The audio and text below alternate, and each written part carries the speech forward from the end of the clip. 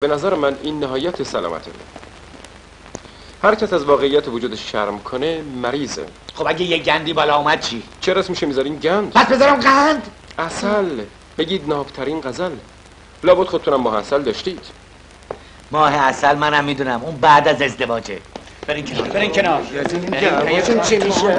برین کنار. به طور کلی باید اعتراف کنم حق با شماست. من خودم با شما هم عقیدم. اما فکر نمی کنین اگه پسر و دختر قبل از ازدواج از هر جهت همدیگر رو بشناسن پیوند زناشویشون محکمتر میشه؟ بشناسن اما نه دیگه از هر جهت. زندگی لگت کردن پای کبر نیست که بشه با یه پوزش ازش رد شد. به اعتقاد من دخترها همسر و هم نفس آیندهشون رو باید از هر جهت آزمایش کنن.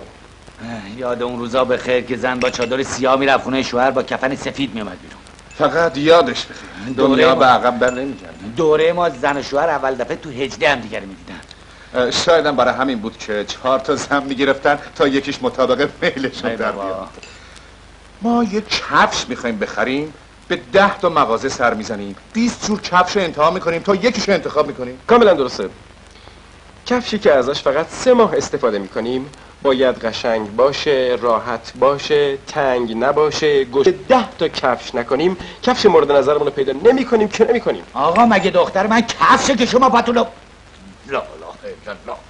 آقا جون اگه ریگی به تای کفشت نیست مرد و مردونه بیا جلو صحبت کن. دختر من پدر داره مادر داره خونه داره. دختر سرایی نیست که همجور دستشو بگیری ببری تو باغ. اون چی که مسلمه پسر من و دختر شما به هم علاقه دارم ممکن این علاقه به ازدواج ختم بشه. بذارین سیر طبیعیش رو طی بکنه اول عقد کنن بعد سیر طبیعیشو طی کنه